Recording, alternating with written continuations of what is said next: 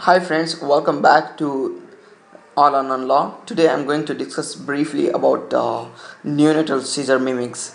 Uh, these are very important cl- for your clinical examination and for even for your um, theory uh, board examinations. So just try to know which is common, which are the common seizures in the neonates and which are fatal seizures in uh, neonate. That's very important. That's why i made a beautiful table for you. Just you can read this one and you will get an idea.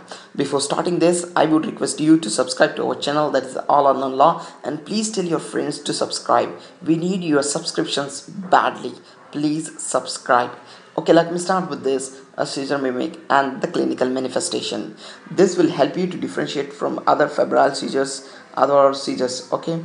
So let me start with the jitteriness. The jitteriness the clinical manifestation spontaneous or provoked by stimulus flexion or extension are equivalent uh, equivalent uh, diminished by repositioning abolished with containment. So look at this feature jitteriness if this it is diminished by the repositioning. If you change the position of the neonate if you take it okay so then uh, the jitteriness will subside.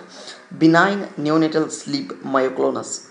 This is also one of the seizure mimic uh, it uh, uh, the clinical manifestation of this disease uh, sorry this this is a, is bilateral or unilateral uh, synchronous or asynchronous uh, occurs during sleep no not due to a stimulus. So just remember it occurs during the sleep okay not due to the stimulus. These are very important.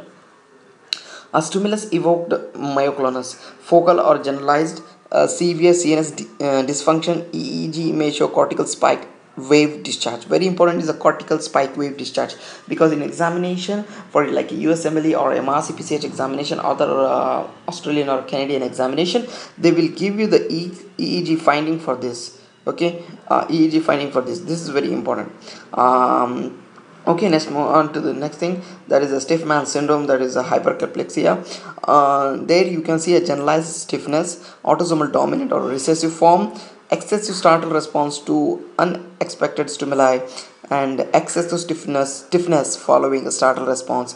Benzodiazepines reduce symptoms. So these are the important things what i discussed about the neonatal seizure mimics. Uh, okay thank you so much for watching my video. Go through this once again. If you like the video share this video with your friends so that they can come to know about our channel. Thank you so much for watching our video. Take care